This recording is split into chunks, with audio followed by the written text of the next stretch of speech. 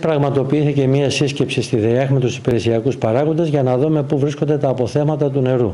Υπάρχουν προβλήματα σε συγκεκριμένες περιοχές, διότι λιμνοδεξαμενές δεν έχουν καθόλου νερό μέσα, όπως είναι των Αυγονίμων, των Καριών, το φράγμα Ζηφιά είναι κάτω-κάτω και το φράγμα του Αγίου Γεωργίου Σικούση επίσης έχει πολύ λίγα αποθέματα.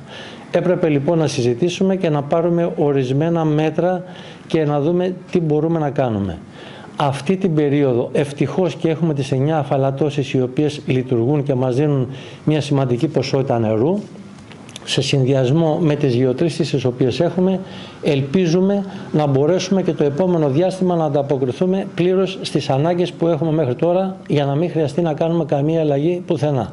Ευελπιστούμε ότι το επόμενο διάστημα θα ξεκινήσουν οι βροχοπτώσεις και σε κάθε περίπτωση θα πρέπει να σκεφτόμαστε πώς μπορούμε να διαχειριστούμε το νερό το οποίο έχουμε στη διάθεσή μας. Παρήγορο είναι ότι το φράγμα Κατράρι με τα περσινά νερά που μάζεψα από τις βροχοπτώσεις έχει μια ποσότητα νερού και τουλάχιστον η Νότια Αιχίος μπορεί να εξυπηρετηθεί με αυτό το νερό που έχουμε.